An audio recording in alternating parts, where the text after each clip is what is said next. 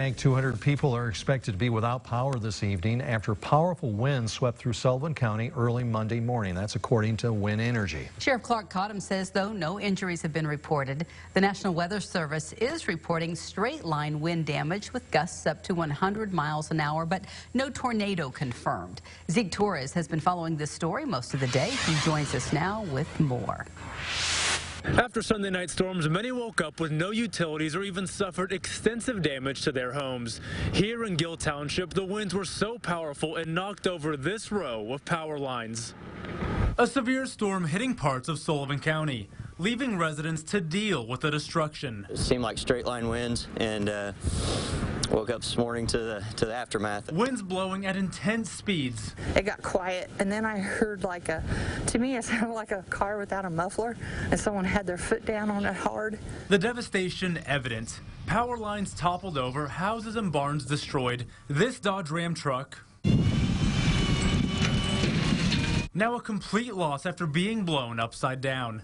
Tony Wiedekamp was in his basement as the storms went through the area.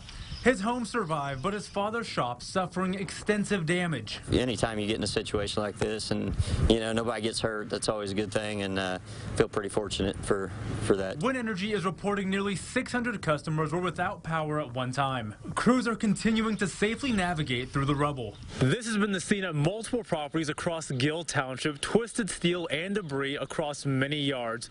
But for others, the damage comes with an emotional toll. This windmill has been a family heirloom for Sherry Smith and her family. Before the storms, it stood in this yard prominently for nearly 80 years. They're replaceable. The buildings can be replaced. Thankful everyone, I'm all right. Dogs are all right. All my neighbors are all right. Schmidt's property now resembles her neighbors, crushed. Her shed and barn both missing material and a piece of wood is sticking out of her roof. As a lifelong resident, she says this storm was one of a kind. I've had high winds before, rip uh, roof off of the pole barn before, but not this bad.